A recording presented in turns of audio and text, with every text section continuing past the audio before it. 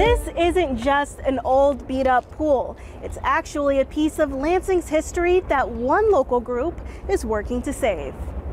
This pool is uh, an icon. It's called the Moores Park Pool, a historical structure built 100 years ago and designed by Lansing City engineer Wesley Bintz. When he built this pool, he sort of perfected his plan and got a patent for it from the U.S. Patent Office and then sold the plans to municipalities all over America. While its significance to the community is strong, the foundation is not. A leak in the pool that, you know, was losing gallons a day. Um, the mechanicals are old. This pool was built in 1922. The Friends of Moores Park Pool Advisory Group has been working with the city to refurbish the pool.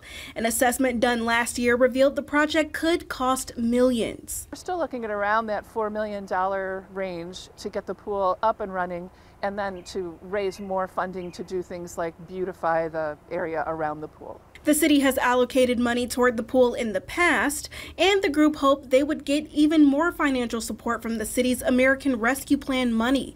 But Mayor Andy Schor says those dollars are going elsewhere. In a statement, he said in part, the Moores Park pool is an asset to the city, but is only used for 10 weeks of the year, and 6 million in city funds goes a long way towards other priorities. We are counting on the community activists who indicated that there is significant support to raise these funds. I will work with them to support grants and other options for raised dollars, as I have indicated to them several times, as long as there is a plan to sustain the pool in the future. McGuire tells me the best way to help support the pool is to contact the Friends of Moores Park Pool on Facebook or by email and write to the City Council about what the pool means to you.